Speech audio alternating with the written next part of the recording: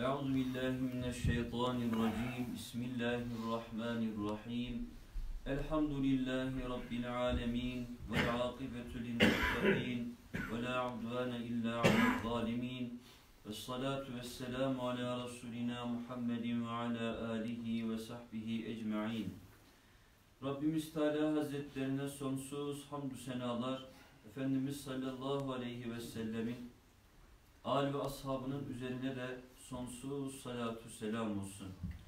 Yüce Rabbimiz cümlemizi, cümle ümmet Muhammed'i Efendimiz sallallahu aleyhi ve sellemin mübarek yollarından ve şefaatlerinden bu dünyada da ahiret yurdunda da bizleri ayırmasın inşallah. Kıymetli kardeşlerim, sözlerimin başında yakın zamanda İdlib'de vatanımız, bayrağımız için şehadet şerbetini içen aziz şehitlerimizin ruhlarını anarak onların e, şehadetlerini tebrik ederek sözlerime başlamak istiyorum. Rabbimiz onlara rahmetiyle muamele eylesin. Eşşehid ismine mazhar olan, Yüce Mevlamızın bu güzel ismine mazhar olan aziz şehitlerimizin e, şefaatlerinden bizleri Yüce Rabbimiz mahrum eylemesin inşallah. Bugün itibariyle de devletimiz, vatanımız, bayrağımız için başlatılan mücadelede Yüce Rabbimiz ordumuzu, güvenlik güçlerimizi muzaffer eylesin inşallah.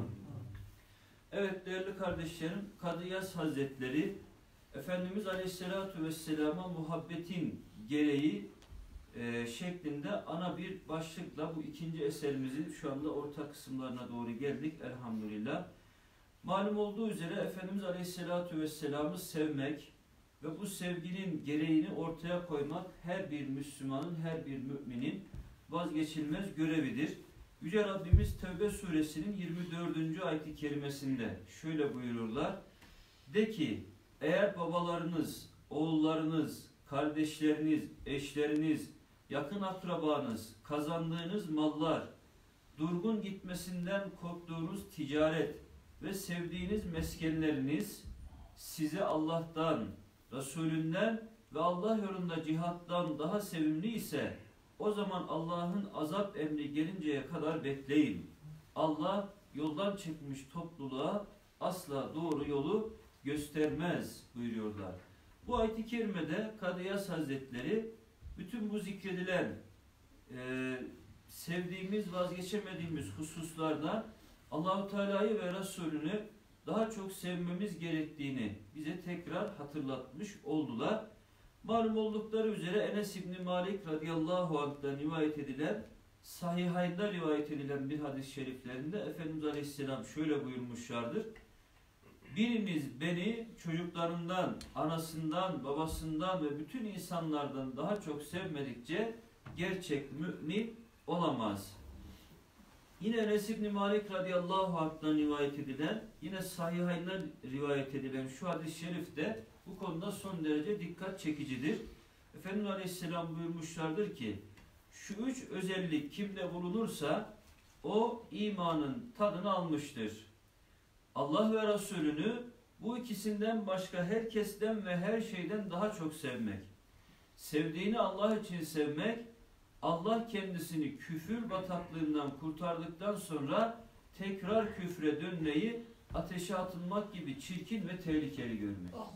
İmanın tadını, lezzetini almanın ilk şartı Rabbimizi ve onun Resulünü herkesten, her şeyden daha çok sevmekten geçiyor. Efendimiz Aleyhisselam bu hususu açıkça ifade buyurdular. Burada bu noktada tam tam da Hazreti Ömer Efendimizin radıyallahu anh'ı Efendimiz Aleyhisselam'da yaşadığı şu olayı hatırlatmak isabetli olacaktır. Efendimiz Aleyhisselam bir defasında e, Hazreti Ömer Efendimizin şu sözlerine muhatap oldular. Hazreti Ömer Efendimiz Ya Resulallah sen bana şu göğsümün içindeki canım dışında her şeyden daha sevgilisin. Böyle hitap ettiler. Efendimiz Aleyhisselam hiç kimse beni canından daha çok sevmedikçe kesinlikle iman etmiş olamaz buyurdular. Hazreti Ömer Efendimiz sana kitabı indiren Allah'a yemin ederim ki sen bana şu göğsümün içindeki canımdan daha sevgilisin dedi. Bunun üzerine Efendimiz Aleyhisselam işte şimdi oldu ey Ömer buyurdular.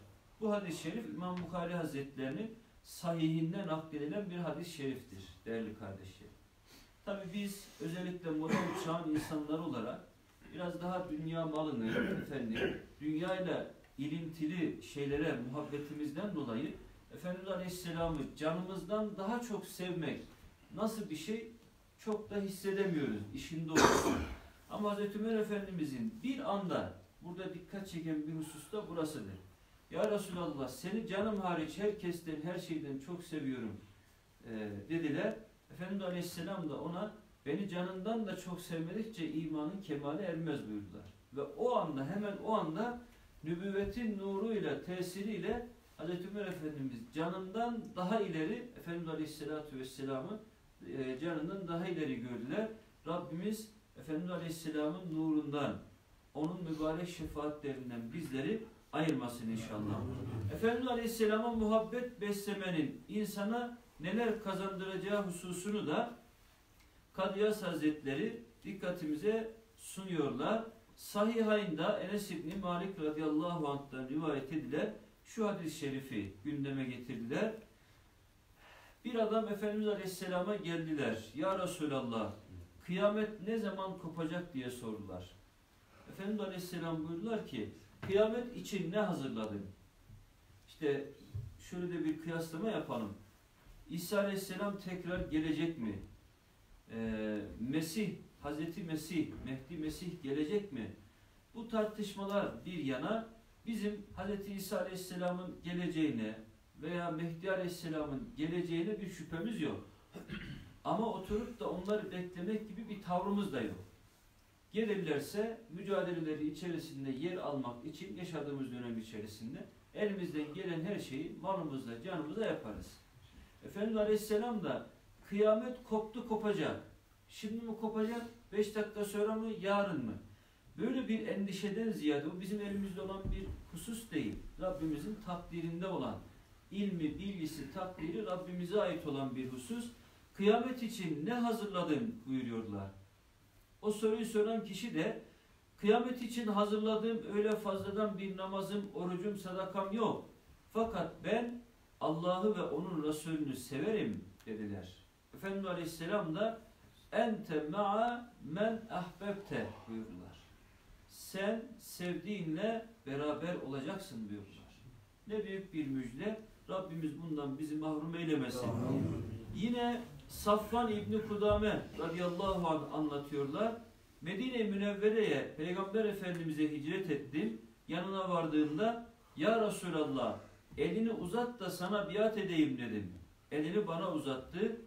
Bunun üzerine Ya Resulallah seni seviyorum dedim.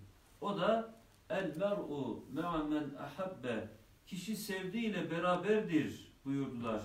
Hazreti Ali Efendimizin bir rivayeti de şöyle değerli kardeşlerim. Bir gün Efendimiz Aleyhisselam Hazreti Hasan ve Hazreti Hüseyin efendilerimizin elinden tuttular ve şöyle buyurdular. Beni sevenler, bu çocukları ve onların babalarını, annelerini sevenler kıyamet gününde benim yanımda ve benimle beraber olur. Demek ki Efendimiz Aleyhisselam'ı sevmek, ona yakın olma, sahabe-i kiram efendilerimizi, daha da özellikle ehli beyti, Hazreti Ali Efendimiz'i, Fatıma annemizi, Hazreti Hasan ve Hüseyin efendilerimizi e, sevmekten geçiyor değerli kardeşlerim. Ki öyle bir sevgi ki birisi Efendimiz Aleyhisselam'a geldi. Ey Allah'ın Resulü sen bana nefsimden de sevimlisin. Malımdan, mülkümden de. Evimde olduğum zaman aklıma sen düşünce yerimde duramıyor.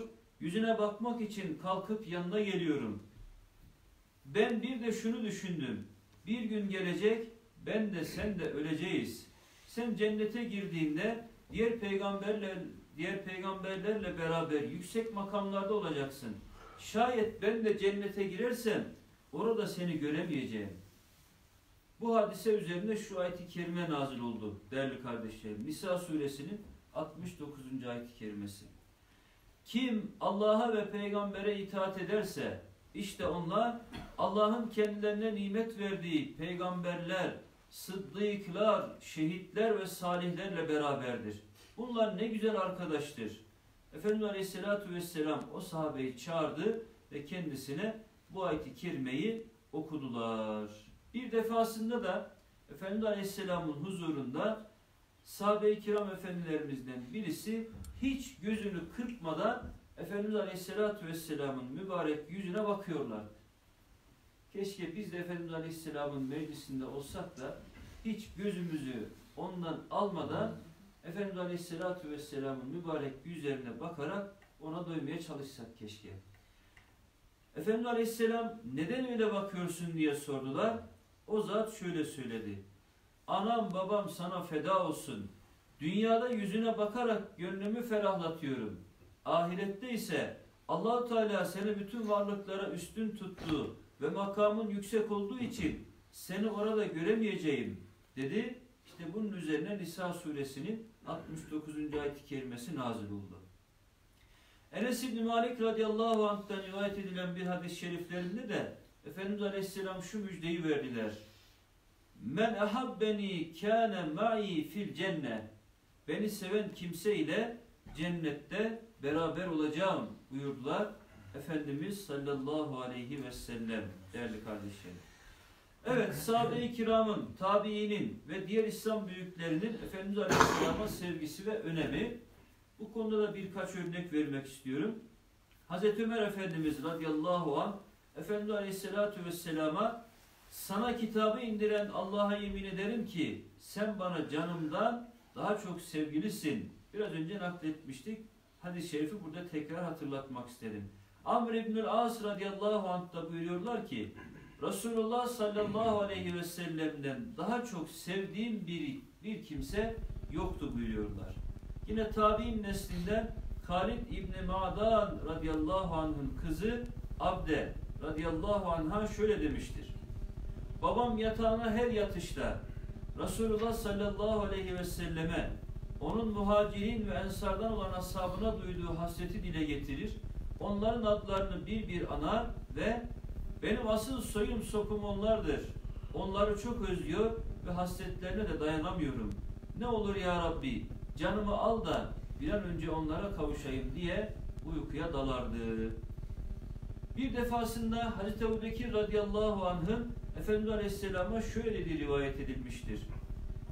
Seni hak peygamber olarak gönderen Allah'a yemin ederim ki amcan Ebu Talib'in Müslüman olmasına babam Ebu Kühafe'nin Müslüman olmasından daha çok sevinirdim.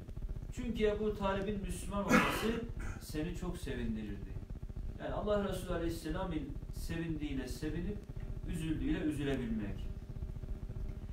Evet Hazreti Ömer Efendimiz de buna benzer bir e, olay yaşamış. Hazreti Ömer radıyallahu an Peygamber Efendimizin amcası Hazreti Abbas'ın henüz İslamiyet'i kabul etmediği günlerde onun yanına gitmiş ve kendisine şunları söylemiştir. Ey Abbas senin Müslüman olmana babam Hattab'ın Müslüman olmasından daha çok sevinirim. Çünkü senin Müslüman olman Resulullah'ı çok sevindirir. Evet Uhud Savaşı ile ilgili anlatılan bir hadise var değerli kardeşlerim. Ee, siyer alimlerinden İbn İshak rahmetullahi aleyh anlatıyor. Medine'nin Müslümanlardan birisinin hanımı, babası, e, bir hanımın babası, kardeşi ve kocası Efendimiz Aleyhisselatü Vesselam ile beraber savaşa katılmışlar, Uhud Savaşı'na katılmışlar. Bu annemizin babası, kardeşi ve eşi bu savaşta şehit olmuşlar. Ordu ordu e, savaştan dönerken bu annemiz hemen orduyu karşılamış. Allah Resulü Aleyhisselam nasıl diye sormuşlar. Aslında eşinin, efendim kardeşinin ve babasının şehadet haberi kendisine ulaşmış. Annemiz Resulullah Aleyhisselam nasıldır diye sormuş. Elhamdülillah o senin de arzu ettiğin gibi sıhhat ve afiyettedir deyince Ya Resulallah sen sağ olduktan sonra bütün sıkıntılar önemsizdir cevabını vermiş. Sen sağ olduktan sonra bütün sıkıntılar önemsizdir. Hz. Ali Efendimiz'e sizler Resulullah Aleyhisselam'ı nasıl severdiniz diye sordular. Hz. Ali Efendimiz şöyle cevap verdi. Vallahi biz onu bütün mal varlığımızdan, çocuklarımızdan, babalarımızdan, annelerimizden ve hararetten içi yanan birine göre soğuk su neyse biz Resulullah'ı ondan daha çok severdik buyurdular. Evet Abdullah İbni Ömer radıyallahu anhuma değerli kardeşlerim. Bir defasında ayakları uyuşmuş tabipler ayak uyuşmasına bir çözüm bulamamışlardı. Belki psikolojik bir sebepten dolayıdır. Ee, en çok sevdiğin kimsenin adını anarsan ayağındaki bu sıkıntı gider demişlerdi. İbn Ömer radıyallahu anhuma ah ya Muhammed sallallahu aleyhi ve sellem deyince ayağındaki uyuşukluğun gittiğini, kaybolduğunu bize anlatıyor. Yine Hazreti Bilal radıyallahu an ölüm döşeğinde yatarken eyvah gidiyorsun artık dünya hayatı senin için sona erdi diyenlere şöyle cevap verdi. Hayır ben çok sevinçliyim. Kavuşacağım yarın dostlarıma Muhammed sallallahu aleyhi ve selleme ve onun ashabına. Huzeyfetül İbnül Huzeyfe İbnül Yeman radıyallahu anh da vefatı esnasında üzülmemelerini sevdiği Allah Resulü aleyhissalatu vesselama kavuşmasından dolayı mutlu olacağını ifade ediyorlar değerli kardeşlerim. Şu hadiseyle sohbetimi bitireyim. Mekkeli müşrikler ashab-ı kiramdan Zeyd İbni Desine'yi öldürmek için haremden çıkardılar. O an Ebu Sufyan ona dedi ki Allah aşkına söyle Zeyd şimdi sen çoluk çocuğunun yanında olsaydın senin yerinde de Muhammed olsaydı sallallahu aleyhi ve sellem seni öldüreceğimize onun boynunu vursaydık daha iyi olurdu değil mi? Zeyd ona şu cevabı verdi. Allah'a yemin ederim ki ben çoluk çocuğumun yanındayken Muhammed Aleyhisselam'ın değil burada olmasını istemek şu anda bulunduğu yerde bile ayağına diken batmasına gönlüm razı olmazdı. Bunun üzerine Ebu Sufyan dedi ki ben bu dünyada Muhammed'in ashabının Muhammed'i sevdiği kadar bir başkasını seven kimse görmedim. Sallallahu aleyhi ve sellem. Yüce Mevlamız Efendimiz Aleyhisselatü Vesselam'ın mübarek yollarından, şefaatlerinden bu dünyada da ahirette de bizleri ayırmasın inşallah. Mevlamız birliğimizi, beraberliğimizi, kardeşliğimizi daim eylesin. Rabbimiz hasta kardeşlerimize acil şifalar, dertli kardeşlerimize devalar, borçlu kardeşlerimize en kısa zamanda helalinden edalar nasibi müyesser eylesin. Rabbimiz aziz şehitlerimize rahmetiyle muamele eylesin. Onları Efendimiz sallallahu aleyhi ve selleme komşu eylesin. Bizleri şefaatlerinden, yollarından ayırmasın. Geride bıraktıkları e, emanetlere hakkıyla sahip çıkabilmeyi Mevlamız bizlere nasip eylesin. Rabbimiz ordumuzu, yurdumuzu, polisimizi, askerimizi muzaffer eylesin. Kıyametin sabahına kadar huzur ve sükunet içerisinde, birlik ve beraberlik içerisinde bir ömür sürebilmeyi Rabbimiz cümlemize nasip eylesin. Ve ahiru da'vana enilhamdülillahi rabbil alemin. ربنا تقبل منا واشف مرضانا وارحم موتانا بحرمة سر سورة الفاتحة